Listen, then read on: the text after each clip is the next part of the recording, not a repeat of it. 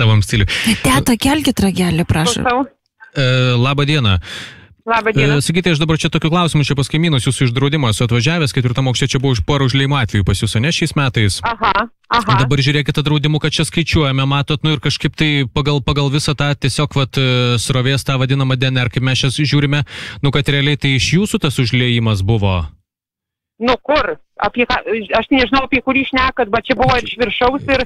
Jūs trečiam aukšte, ne? Tai va, iškė, aš dabar Jo, pas jo, kaimynus ketvirtam aukšte, va, vienu žodžiu mes čia skaičiuojam ir dabar, nu, jie sako, kad čia jūs užliejot.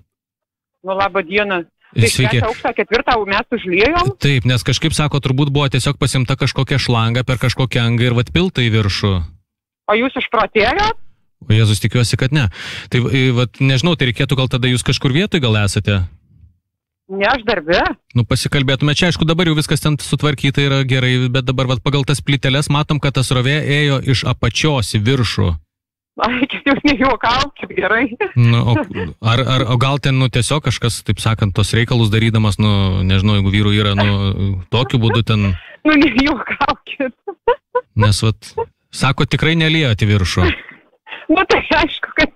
O gal buvot užbėgus pas kaimynus kažkurio metu jūs raktų neturit, gal ten prilėjo tiesiog. Jo, turiu raktus, jo. Aha. Jau čia pats sakau, tikriausiai.